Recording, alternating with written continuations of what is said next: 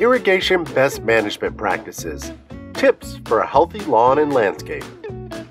If your irrigation system is not working properly, no matter how much you water, the landscape suffers and water is wasted.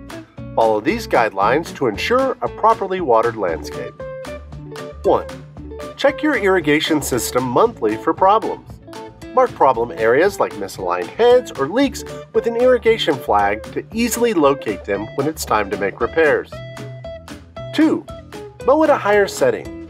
During the summer, raise the height on your mower by 1 to 2 notches. Taller grasses can help reduce evaporation of water from the soil in addition to encouraging a deeper, healthier root system. 3. Water when needed, not just because it's your day to water. If it has just rained or if rain is in the forecast, it's better to hold off running your sprinklers. This can help prevent unnecessarily high water bills along with preventing several pest and disease issues associated with overwatering. A soil moisture probe is an inexpensive tool that can be used to gauge soil moisture at a depth of 6 to 8 inches. 4. Water without creating runoff. For best results, use the cycle and soak method of irrigation. Using 2 to 3 shorter intervals rather than one long cycle allows for better absorption of water into the root zone. The goal is to keep all the water applied on the lawn and not running off down the street. 5. Water before 10 a.m. or after 6 p.m.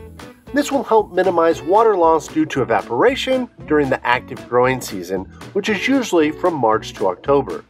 Watering in the winter is generally not necessary unless unusually dry conditions exist.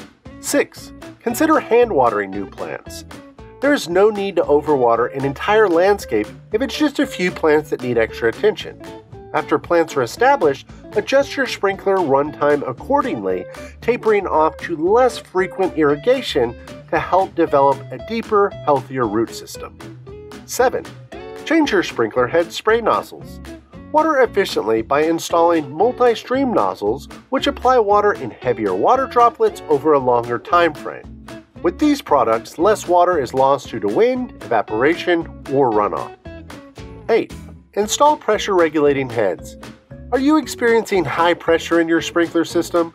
Irrigation systems are designed to operate at around 40 psi. Pressure higher than this can cause excessive misting and overspray from your sprinkler heads. By installing pressure regulating heads, you can reduce pressure and ensure that water is hitting the ground where it can be most efficiently used. 9. Replace older irrigation controllers. Consider upgrading to a newer model that has water conserving settings like cycle and soak or seasonal adjustment. Look for the EPA WaterSense label for the most efficient models. There are also many wireless controllers that can connect to your smartphone. 10. Install a rain and freeze sensor. These sensors prevent your automatic sprinkler system from coming on and applying water during a rain or freeze event, which helps deter water waste and prevents hazards. 11. Convert spray zones to drip irrigation. When properly designed, installed, and maintained, drip irrigation is the most efficient irrigation method.